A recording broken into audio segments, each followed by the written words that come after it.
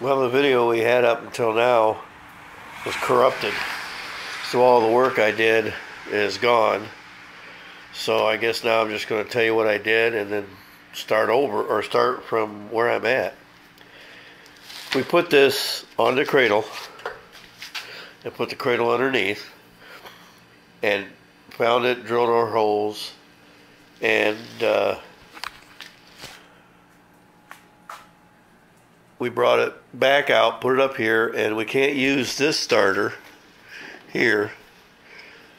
So we're going to have to put on the starter generator, which means basically when you push the gas pedal, this starts it, and then when you let go of the gas pedal, it just shuts off like a normal go kart. So in order to mount it on here, this the gas tank was on here, and uh, we un undid the gas tank. I took the air cleaner off, and I took the exhaust off. And then this bracket here is the original bracket for uh, the starter generator. And I cut this part off, and uh, here it is. And I set it up on here, and it's it's hitting here. It needs to be lifted up. Now these are the existing holes that was um, for one of the gas tank mounts. So what I did is I took the gas tank mount that was on there, and it looked like this. It's kind of fun to do with one hand. Kind of looked like, kind of looked more like this. That's what it looked like. I cut the two tabs off of it, so I can take it. I can set it on here, over top the original holes. Then I'll take this bracket and I set it on there and that gets me lifted up off of here. Now what I got to do is I got to take the starter generator here and I got to hold it up here or put bolts on or whatever, but I got to hold it up here, get the belt to where it's in line, where the two pulleys are in line, and then mark it. Then I got to drill the holes here and then I'll run the bolts through now that and then I'll take another piece of metal from here to there to one way or another to kind of brace it up make it stronger. And then there'll be another bracket coming off of somewhere on here a bolt here whatever coming up to the top part of the starter generator which is right here. That's the plan. And, and I'll get started on it as soon as my uh, camera woman was able to come out here and uh, hold the camera. And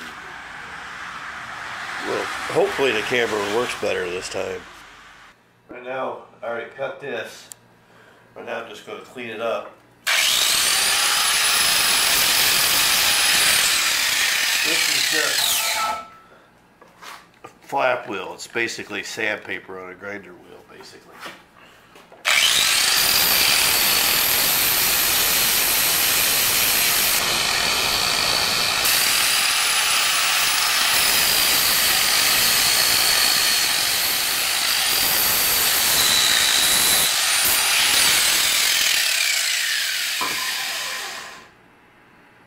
That's stinky. it's also warming. A little warming. So now, well, it's still kind. Of, oh, that's why it's touching. That fell off. Yeah, see, it's not touching now. So now that's still a little toasty warm. Here, see, touch. No.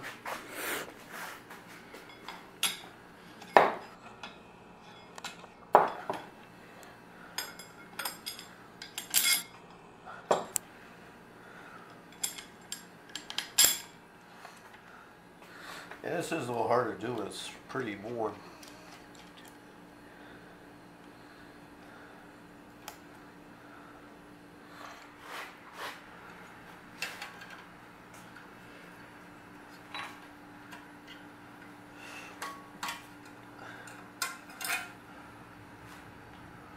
Long side, that side.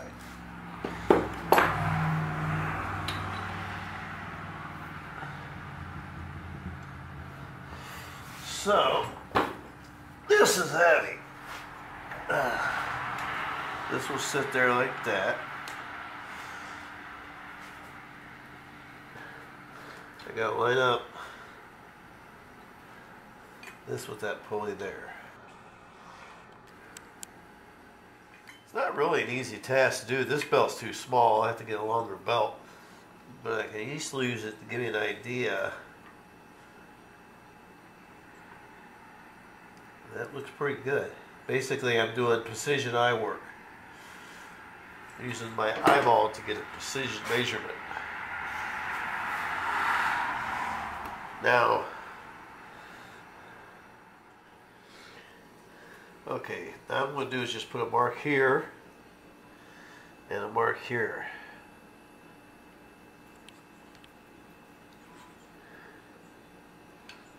And then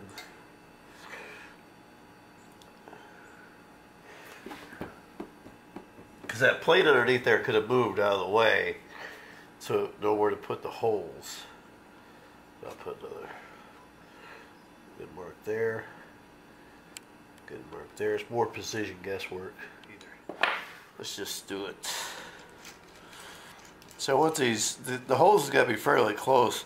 And if they're not real on, excuse me, if they're not on, I could just make the holes bigger. I gotta get longer bolts because uh, the original bolts that was in there are, are going to be too short because this is whatever the distance this is.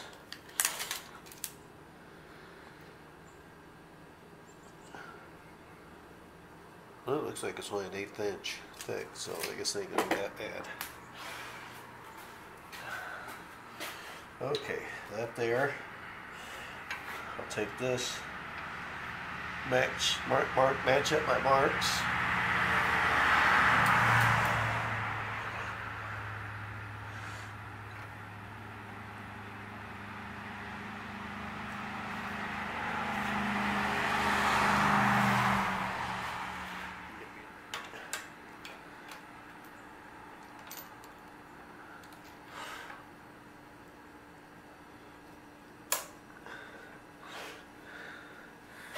Where I put my holes.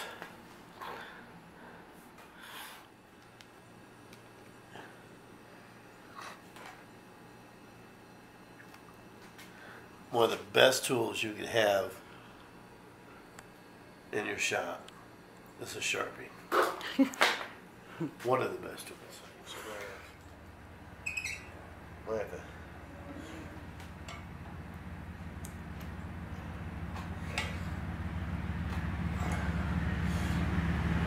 All right.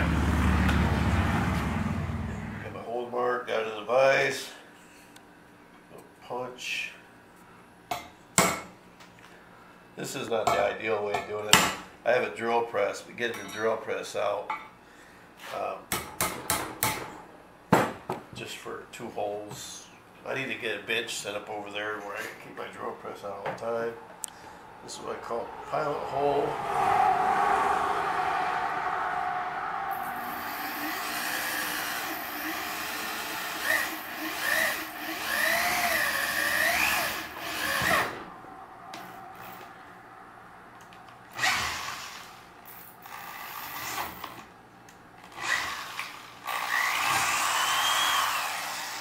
All right.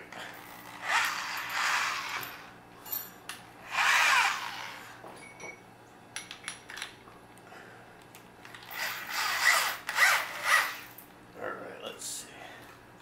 Let's see how. Maybe I should go a different size. Usually you can go with a small bit, another size bit, and then a third one, but we're going to try it. Let's see if we can get through this. Have a soft metal.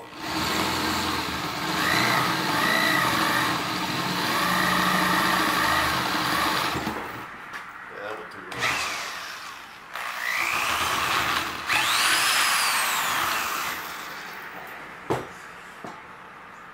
One hole drilled.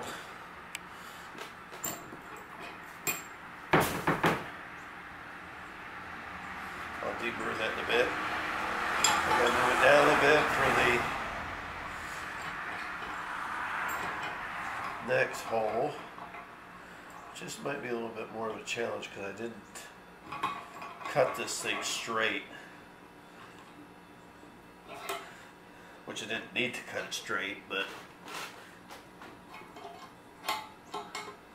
this is my portable vise I made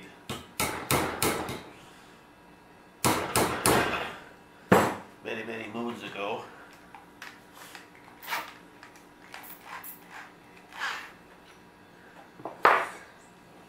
What if we can play the video back find out what I did that drill bit?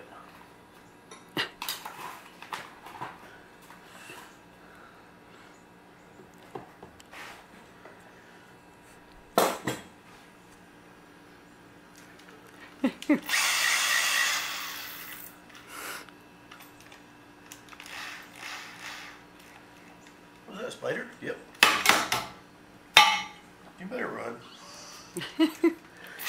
Me and spiders don't see eye to eye. I forgot to punch first. Punch.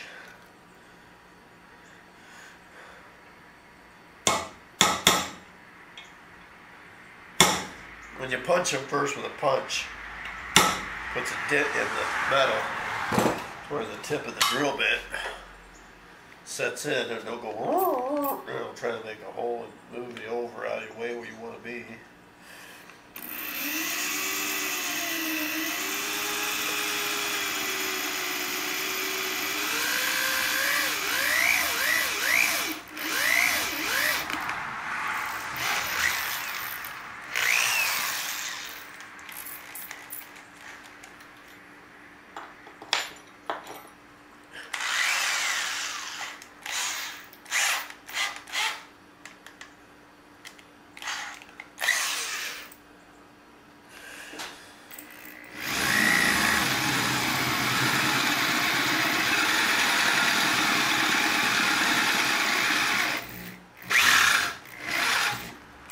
You want to go slow when you get to the catch because it's real soft steel. It's pretty soft steel. That would have been a lot easier if I used a drill press, but then again, it would have been a lot harder to get the drill press out. Alright, now, let's see how I did.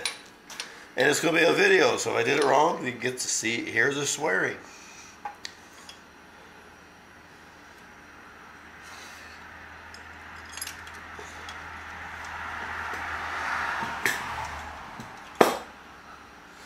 Sw- metal.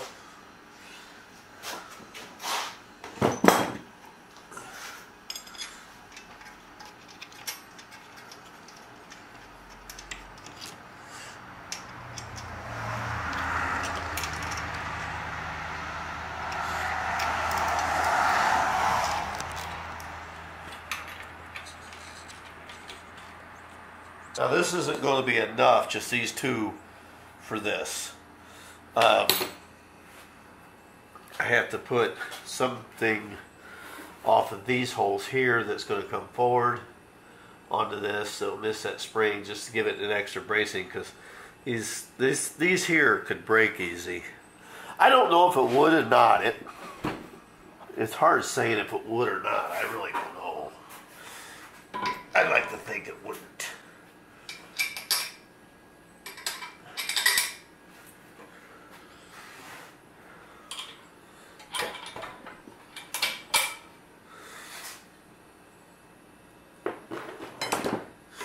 Now this belt, like I said, is too long, so I've got to get a shorter belt for it.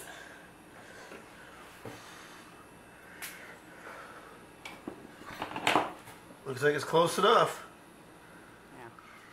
Yeah. Okay, this is the original bracket off the engine, the original engine for the belt tensioner. There's an existing hole right here at threaded.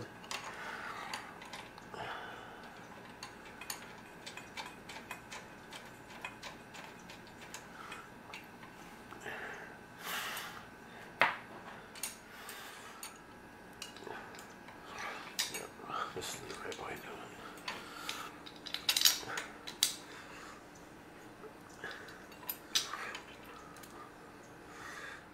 This, if this ju- star generator wasn't so heavy, this probably wouldn't be this big of a deal.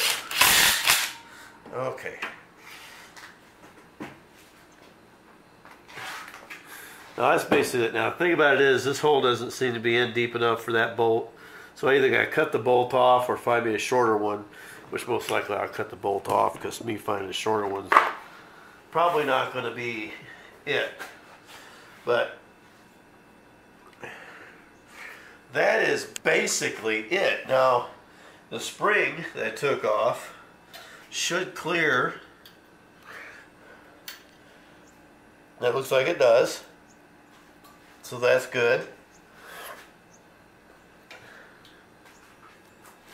Now I just got to measure around that with a rope or something.